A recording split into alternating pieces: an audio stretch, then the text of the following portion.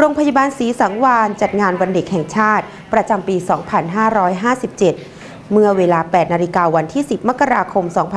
2557 โรงพยาบาลศรีสังวานได้จัดงานวันเด็กแห่งชาติประจำปี 2557 ขึ้น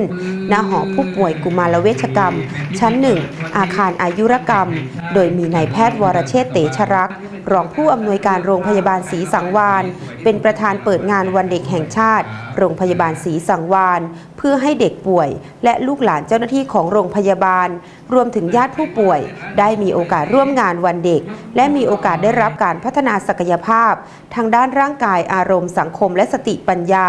เพื่อให้เด็กได้รับความเพลิดเพลินสนุกสนาน โดยมีกิจกรรมต่างๆ ภายในงาน อาทิเช่น การวาดภาพระบายสี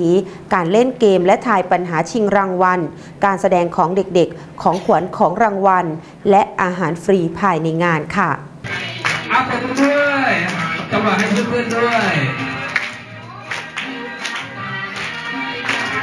ใครไม่ผมคุณยายผมเอง